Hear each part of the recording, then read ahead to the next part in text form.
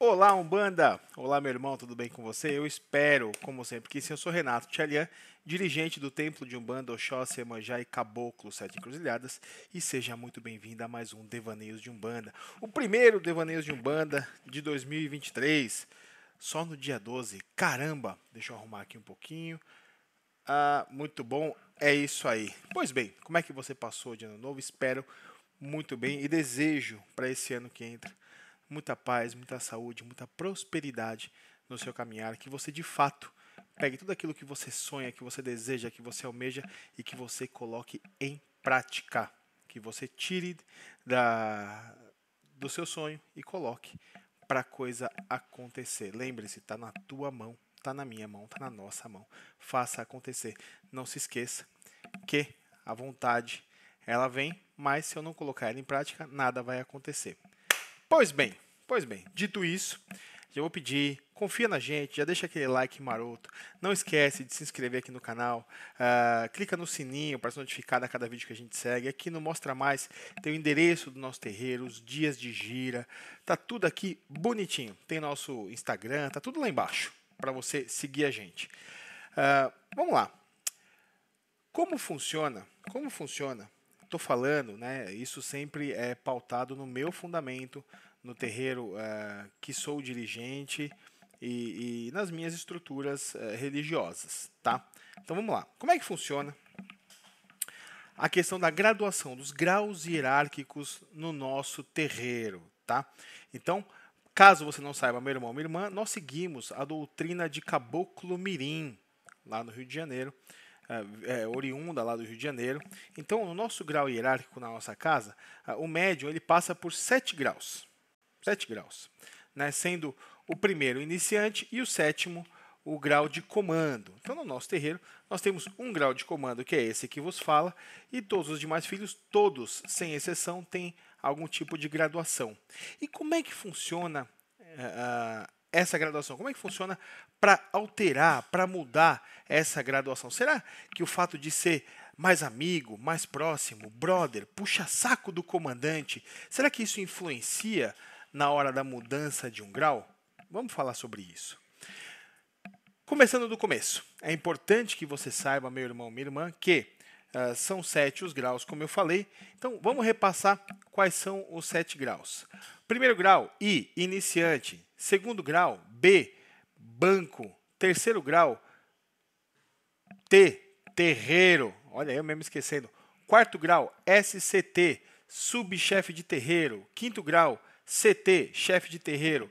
Sexto grau, SCCT, subcomandante chefe de terreiro. Sétimo grau, comandante chefe de terreiro.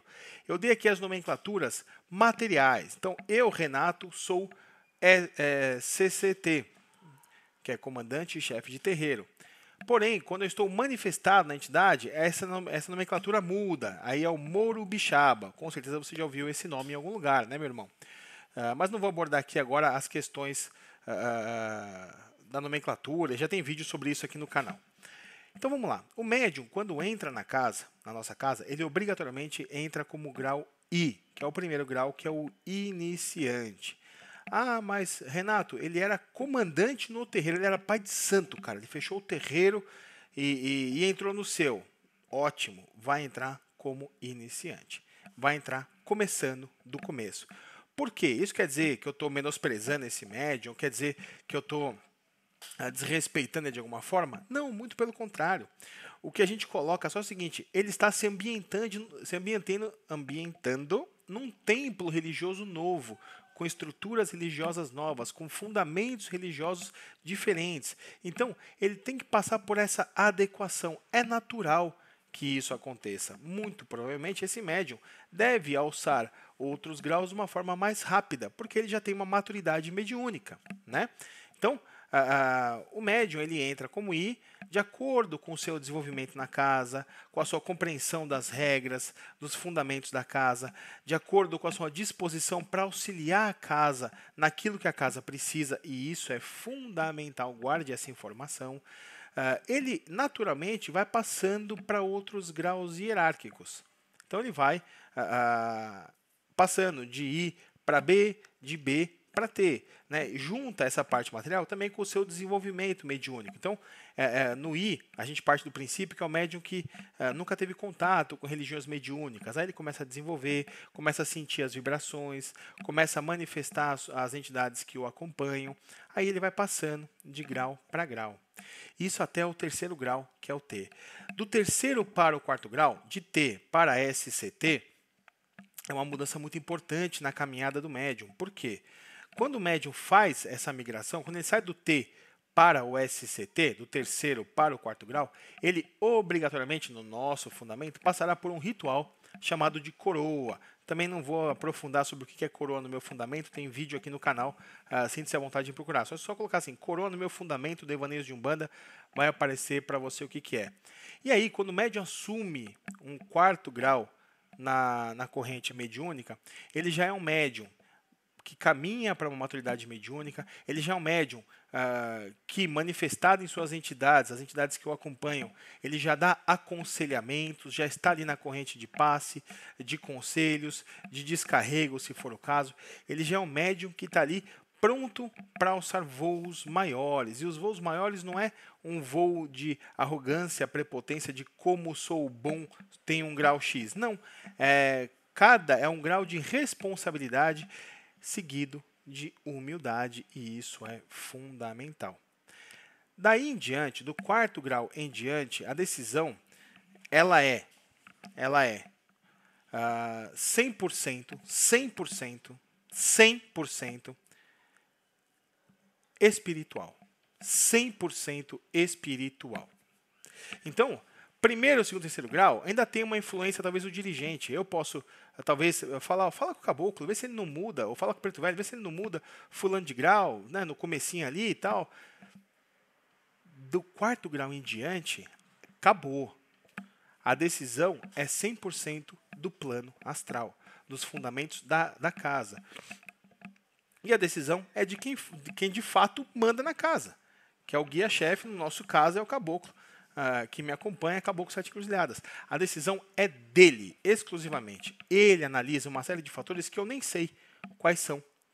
Né? A, a questão espiritual, caminhada, um preparo que às vezes eu não estou enxergando naquele momento. A entidade está vendo muito mais longe do que nós. Sempre foi assim, sempre será. E com todos nós acontece isso. Né? Então, por que é tão importante a gente falar isso?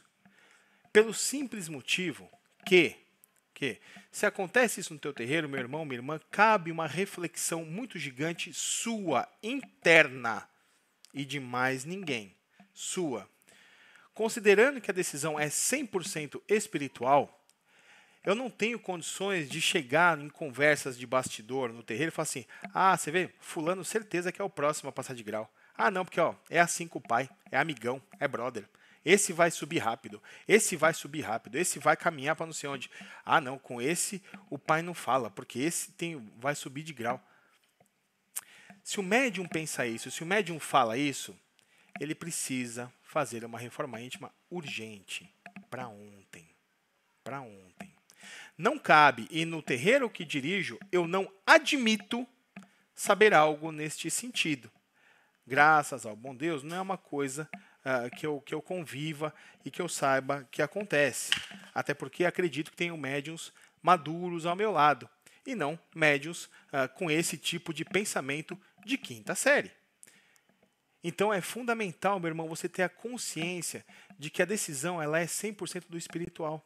E aí o guia ele também avalia coisas materiais, como por exemplo, a dedicação daquele médium nos afazeres da casa fora de dia de gira.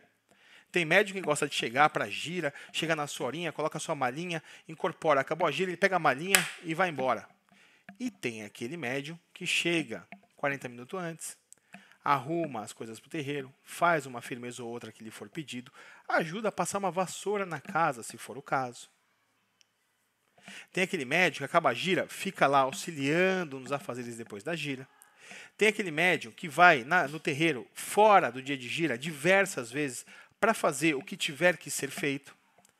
Aquele médium que de fato o comando sabe que pode contar, independente do que for, da hora que for e como for.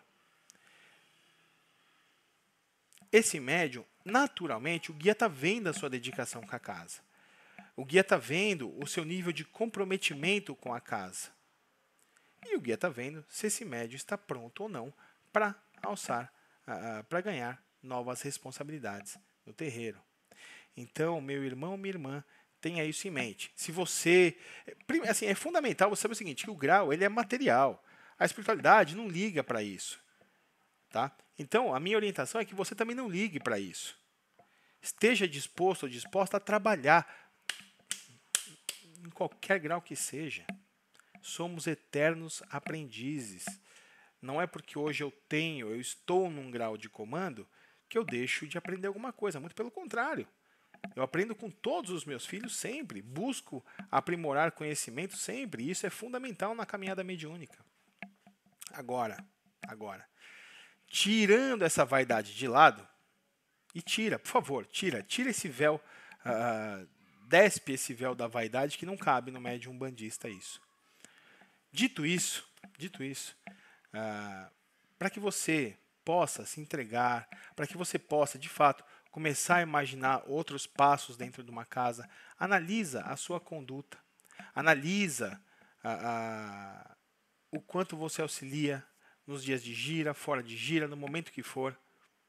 Faça essa análise sua. É muito fácil a gente apontar e falar assim: você vê, Fulano está subindo porque Fulano é puxa-saco. Aí o que, ele, o que esse médium chama de puxa-saco, o comando vê como dedicação, porque é aquele médium que vai fora do dia de gira, a hora que precisa, está ali fazendo e acontecendo. Então, meu irmão, minha irmã, comece a ter um olhar mais gentil para os seus irmãos. E, fundamental, aprenda a não debater as decisões religiosas, oriundas do astral. Eu sempre brinquei que eh, se a entidade falar para mim que 2 mais 2 é 5, tá bom. Então, a partir de hoje, 2 mais 2 é 5. Tá tudo bem. Parte espiritual, eu não discuto, eu cumpro. Gostaria muito que todos nós, irmãos em Oxalá, tivéssemos essa mesma postura. A não ser que seja um pedido esdrúxulo, né? O guia mandou me jogar do prédio não vai se jogar. Agora, questionar uma decisão espiritual, ou achar que uma decisão espiritual é porque é, tem amizade, tem proximidade, ou coisa que vale, não. Aí é, aí é pensar muito baixo, pensar muito raso. E aí eu pediria a gentileza de que esse médium estudasse um pouco mais, se aprofundasse um pouco mais. Ou então, tire a dúvida do teu dirigente, vá direto na fonte e pergunte. Qual é o problema? Qual é a dúvida? Ou ainda, se duvida de uma decisão do, do plano espiritual, chega na gira, pede para falar com o guia-chefe e questiona o guia-chefe. Façamos isso. Também eu lembro, meu irmão, minha irmã, que você não está preso a nenhuma casa religiosa. Você tem total liberdade para seguir o seu caminhar como você acha que deve. Lembre-se, a Umbanda não aprisiona, a Umbanda liberta. Eu particularmente, eu falo por mim, eu sou muito sortudo pelos filhos que eu tenho. Eu tenho do meu lado pessoas maravilhosas, muitas, todas. Todos os filhos que estão com a gente comprados no terreiro são pessoas do bem, pessoas maravilhosas, pessoas pelas quais uh, uh, eu sei que eu posso fechar meu olho e contar. Mas eu peço, meu irmão, minha irmã, se você tiver alguma coisa ou passar pela sua cabeça algo nesse sentido, reflita. Isso, eu citei os graus do, do, do nosso fundamento, mas isso vale para qualquer uh, terreiro. De repente, uma pessoa foi alçada para o GAN, eu não sei como é que é na sua casa. Foi alçada para um grau, grau X, Cambone chefe, eu não sei. E aquilo te magoou, te chateou. Ah, mas é porque é protegido, é porque é amiguinho, é porque não sei o quê. Reflete se é isso mesmo. Pensa se é isso mesmo. E veja o que você pode mudar em você, para que de repente você possa fazer por merecer estar lá também. Eram esses os meus comentários para o dia de hoje. Não se esqueça, meu irmão, minha irmã, que a Umbanda ela é muito maior do que eu, do que você, do que o meu terreiro, do que o teu terreiro. A Umbanda, ela é do mundo. A Umbanda, ela é de Deus. E, como diz o nosso hino, devemos levar ao mundo inteiro a bandeira de Oxalá. Minha gratidão, meu axé, meu saravá e um grande, um grande, um grande, um grande abraço.